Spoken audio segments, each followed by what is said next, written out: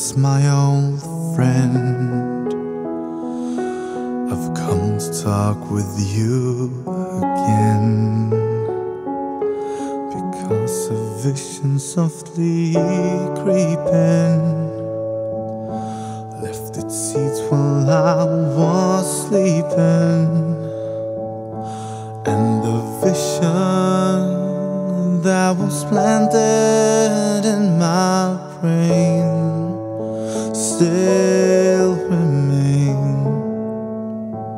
within the sound of silence. In restless dreams, I walked alone, narrow streets of cobblestone. Neath the halo of a street lamp, I turned my collar to the cold and damp. Were stabbed by the flash of a neon light, to split the night and touch the sound